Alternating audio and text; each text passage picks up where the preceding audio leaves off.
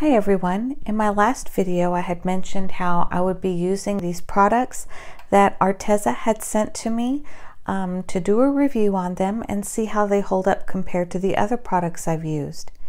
Now on their website they say that their self-adhesive vinyl can be used indoor or outdoor. So in the past when I've used Cricut vinyl and when I've used Siser vinyl, both of those brands if they're the high gloss, then they're the ones that can usually withstand um, outdoor elements, such as on a car vehicle for vinyl decals and things like that. So we'll be doing videos showing those, but today's video, I'm going to show them on these little cups that I found from Dollar Tree. Now these are super easy to adhere vinyl to and they make great custom gifts. So I'm going to show you how to use free apps and free fonts to do whatever you want to make gifts, um, maybe for some kids or a kid's party that you have going on with specifically this Arteza vinyl. Now, in part, the reason why I chose these cups is as a mom, I usually don't put these types of cups in the dishwasher. Um, I know it's going to probably change the size of them.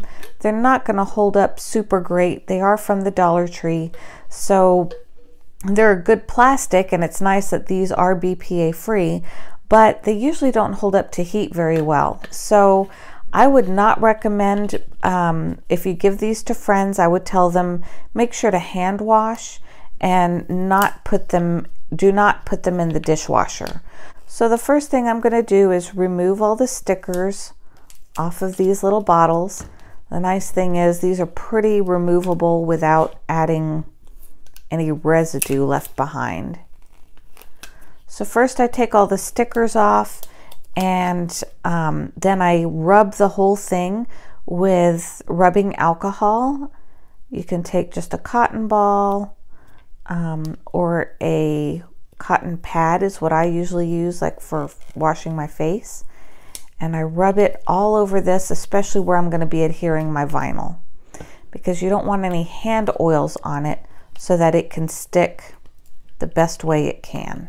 Now, since the purpose of this video is to review the Arteza vinyl, uh, they sent this vinyl to me for free for me to try it out and review it online for you guys. So um, I'm sure you're going to want to see what colors are included in this. I'll also link my unboxing video here so you can see that. On the back of the box, it shows you exactly what colors are coming in it. Um, there's 42 sheets, two of those which are a glossy black, two are a glossy white, one is a matte black, and one is a matte white. There are also a few metallics in here as well. So since I know for sure that glossy is usually the most resilient as far as permanent, those are the ones that I have pulled out to use for today's project. So on the hot pink one, I'm going to put the name on it in turquoise. For the turquoise one, I'm going to use hot pink. And then for the purple, Instead of using like a yellow, I decided to go with a gold, but this one is called brushed gold. So you can see it has a little bit of lines through it, like if you had taken a paintbrush, and that's what I'm gonna cut that girl's name out of.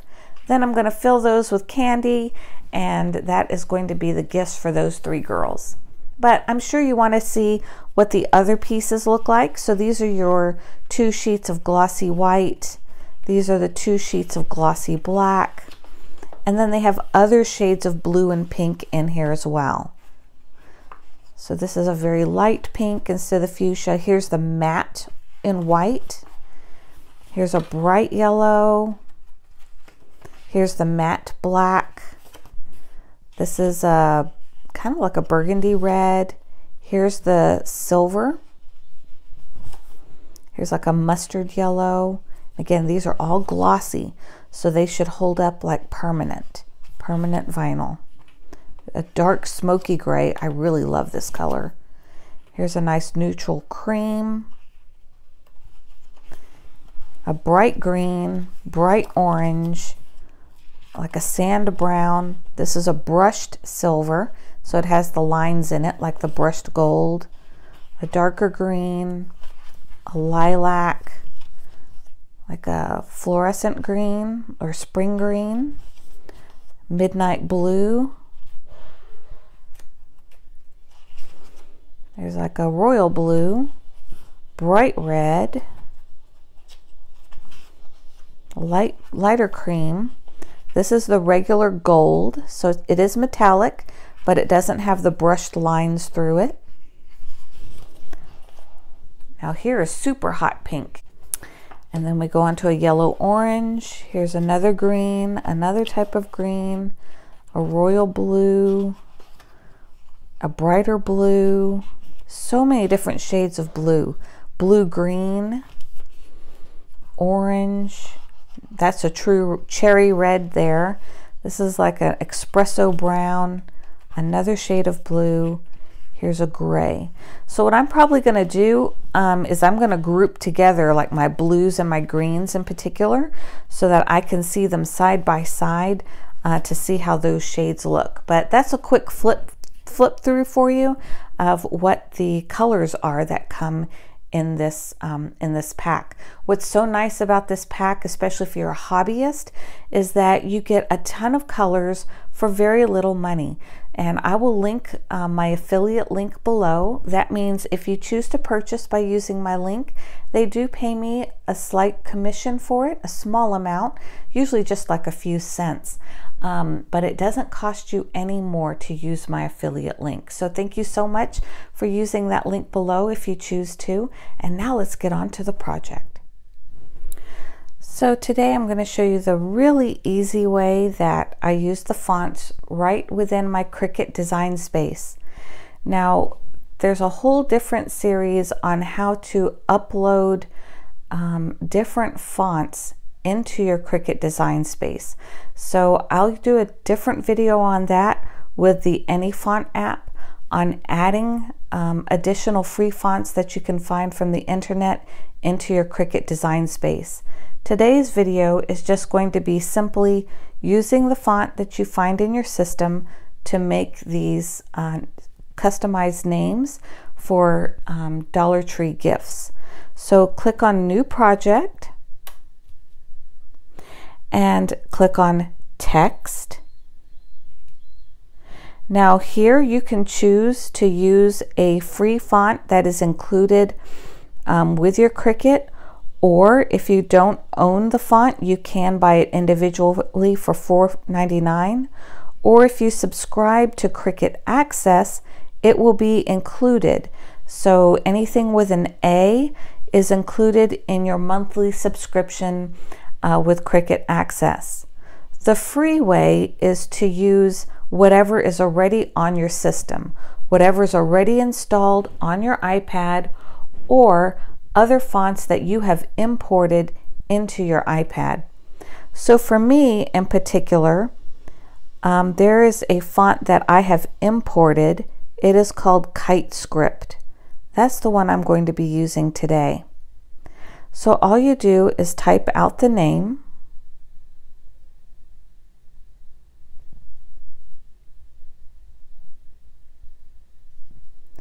And you can see how it looks just like this. So when you initially type it out, you're going to see it has all of this spacing between it. Now you can go to letter space and click zero on that and it'll bring it really close together. But I still don't like the way it has automatically spaced these. So the next thing I'm going to do is click actions and I'm going to ungroup.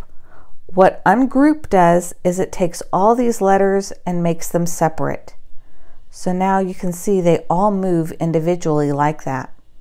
The nice thing with Cricut Design Space is it keeps things level for you. It'll pop up these automatic lines that kind of guide you as to where you want to place your items. I know I want these letters to overlap a little bit on these edges because I want this to be one piece when I cut it out. So I'm connecting this in such a way where the letters touch. So you'll see it gives you this little guideline here and that's so nice. It snaps it into place so that you know you're nice and level. but I'm going to move it just a little bit more past that guideline. Sometimes it can be a little tricky with those guidelines. I want to move it just a little more so that I know it's overlapping.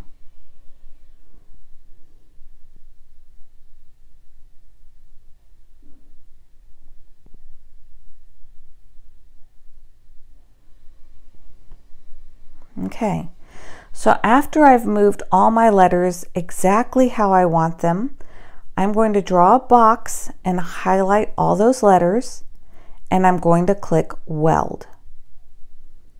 Now what that has done is it has connected all my letters all together so that I know when it's time to cut then they are all going to be connected. So the simple way to do this now is to click make it and because um, I didn't select a color, I just had it in black. That's why it looks black. Um, but I'm actually cutting this one out of a different color. It doesn't matter what's on your screen as long as your letters are where they are. But here you can really see what size this is. This name is almost six inches long. That's way too big for my project. So at this point, you'll want to measure your water bottle and see how much space you have right here to put a name. So this is just a plastic ruler. I got this at Dollar Tree as well. And I just measure from here to here. I see I have four inches to have a name go all the way across this way. I really want it to be nice and bold, so I'm gonna make it the full four inches. Now here, I want to see how tall I can make it. I know it's gonna curve around this part a little bit, and that's fine, but I'm going to make it no taller than two inches. So we want a four inch by about two inch uh, product here. So we're going to go back to our canvas in order to edit this. So again, I'm going to touch on the name and I'm going to click edit. And here you'll see the width and the height along with a lock. Now it's important with fonts that you probably want to keep that lock on as much as possible. You can tweak it a little bit, but if you do it too much, it'll either look too stretched one direction or the other. So I know for sure I want my width to be four inches. So I'm going to do that first. What's amazing with this font is look at what it automatically changed the height to. Because I had the lock on, it automatically went to two inches high.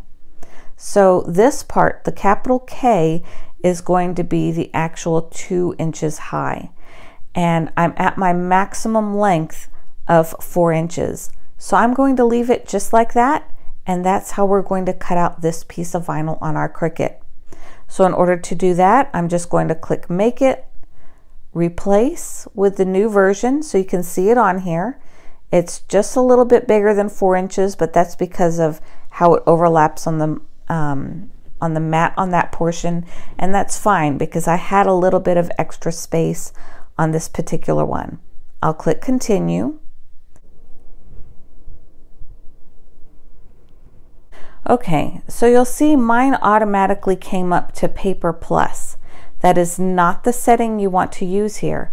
That means that when I turned on my Cricut machine, this is the setting is it is currently on. So you either want to turn your dial to vinyl or you want to turn it to custom. In my case, because I know it works perfect on the vinyl setting, I'm just going to turn the dial to vinyl. So as, as you can see, I have now moved my dial to vinyl plus.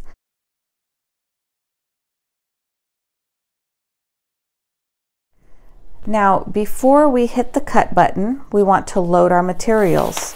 So for vinyl, I usually use the blue light grip mat because in this case, I'm doing a whole 12 by 12 sheet and it already has its own adhesive backing and I don't want to separate that from the vinyl. The light grip mat is just enough stick to make it stay in place in order to get the cut that I need. Now, one thing I love about this Arteza vinyl is that it comes in these flat sheets. There is no fighting with the roll. Any of you who've worked with the roll of vinyl, you know what I'm talking about. You have to cut it down and then try to fight with it to roll it flat. but these Arteza sheets are completely flat. There's no fighting, there's no fussing, there's no cutting. I can just put it right on the mat. So for that, I really love this so far. Okay, let's go cut out this name. A lot of you gave me suggestions of names for her. Um, I'll reveal her name on another video, but she matches this vinyl just perfectly. All right, so let's hit cut.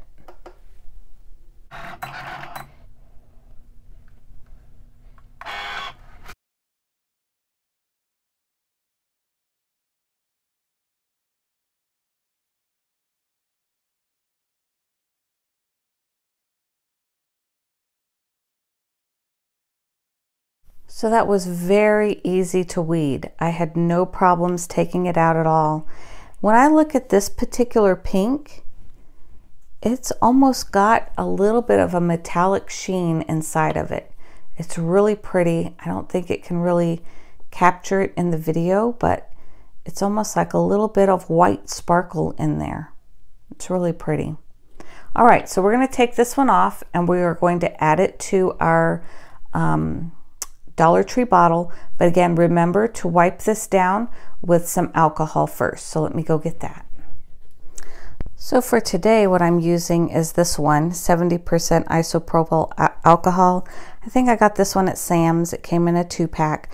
Um, usually what I prefer to use is the little alcohol wipies, but I ran out of mine. So when I get some more, I usually get those at the pharmacy. They're the ones that are alcohol wipes, not baby wipes. Um, baby wipes have too much residue in them. They're not true alcohol. So um, I just put a little bit on this makeup sponge and we're just going to wipe this really good. Also disinfects everything, but gets rid of any residue that was left behind. And let this dry for a second or two. Don't, don't apply your decal while this is wet. I know for this particular project that this one piece of transfer tape is going to last me the whole project because um, I can reuse it. These are going on clean water bottles. There's no fabric or any fuzz like that or paper fuzz. So I know I'll be able to use this transfer tape for this entire project that I'm doing today. So I only need to cut one piece of transfer tape and use it for all three water bottles. So now I'll seal up my transfer tape. I just use washi and I reuse the washi every time as well. I just carefully unpeel it and um, this is the Cricut transfer tape that I use and it works just fine. So now we're going to take our design, we're going to unpeel the white backing from the clear transfer tape. Now you'll see that with the clear transfer tape, the grid is on the tape, so that kind of helps you line things up. I have a piece of a white dot from another project of something, but I'm going to ignore that. That's not going to affect my design because it's on the outside. So I'm going to take this grid line and I'm going to line it up with the E, the N, and the A. And then I know that's going to be fairly straight for my project. The next thing I do is I take a brayer. Some use a squeegee, I use a brayer.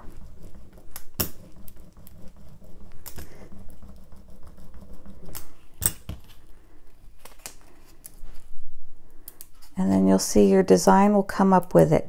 Just go slow with it, take it at different angles and follow your letters. You'll feel the pool and you just want to go with the direction of your letters and it'll all come up. Oh, I love this vinyl. It works so good. All right. I'm sorry, let me use proper grammar. It works so well. Okay, so now here's my water bottle. And what I do is I start with the middle of the name. So say the middle of my transfer tape is this line right here.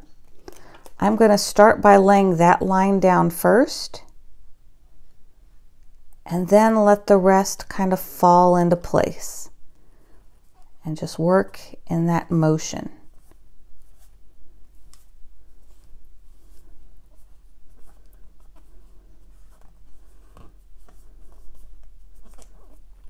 Okay? And then I don't press it down with the transfer tape, because I don't want to have to fight with that transfer tape getting it off. I just barely put the name on there so that if I had any bubbles, I can easily go in and take them out with my nail before I've actually really pushed it hard down onto my project. And as you can tell, my transfer tape still has plenty of sticky. So I'm going to take that same glossy side that I had before, it's actually this one, and lay it on there so I can reuse it for my next cup.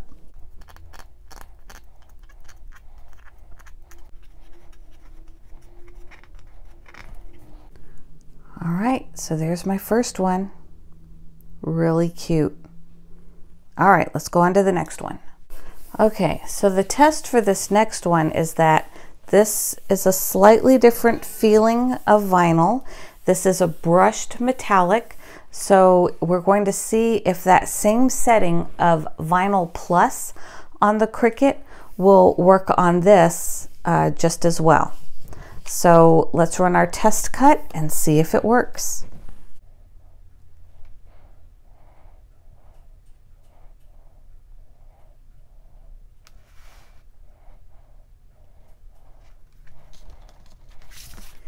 When you get it off the machine, you'll really be able to tell. Though the line will feel different to you when it has actually gone all the way through the material.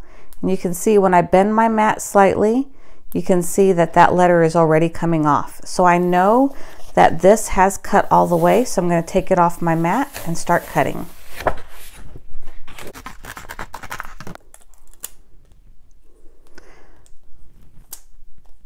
So right away, you'll see that it is different with the metallic. This is the regular vinyl, the premium vinyl that they have. Um, and you'll see it's pink on the front and it's on the back. Now the metallic has more of a film finish. It actually feels slightly thinner and it comes off just as easy, if not easier, than the regular vinyl. So again, work in angles. Don't try to pull straight. Um, your design can suffer a little bit if you try to pull straight and then go over the top. And there we go. Okay, so same thing. I'm going to take that same piece of transfer tape that I used before. Okay, so this is where it's trickier. With metallics, they can be a bit harder to stick on to your transfer tape. So you may need to work a little bit harder with your metallics in order to get them to stick. So again, work with the flow of your letters. Don't try to go perfectly straight. Follow the pull. You'll feel the pull, so just go with it. All right, so this is going on the purple one.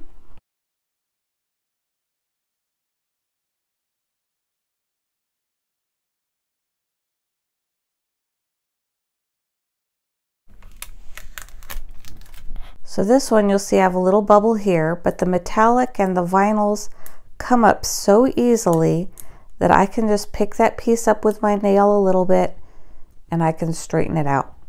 And now I have no bubbles. So cute, so pretty. I loved that brushed gold look. So I thought I'd step you through the process one more time. I have one more name to do. I'm gonna do text. I'm gonna click system I'm going down to a font that I had already downloaded for free. This one is called Kite Script. And this last one, I just type out the name. When I look at it, it's really spread out, looks pretty ugly. That's okay. We're going to hit Actions and we're going to hit Ungroup. Then we'll move each individual letter. Let me zoom in so you can see better. So to zoom in and out, just slide your fingers in and out on the iPad. Take that letter, slide it over. You'll see the guidelines are built in for you.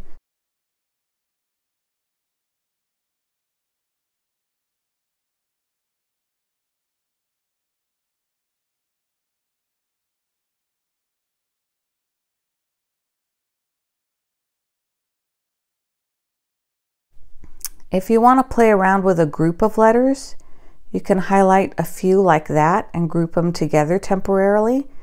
and you can see if you want to place them more like that, closer like that. I think I am going to connect it to the T, just like that. All right, so then you can highlight everything and click weld. And now this whole name is one. Now remember I have a certain size that I know. So I'm going to click edit. I have the lock button on and I'm going to make my width four inches. It automatically sizes it to 1.8 which I know that is the size. My ideal size is about two inches. So this is going to fit my project just fine. So let's cut this one out of the turquoise.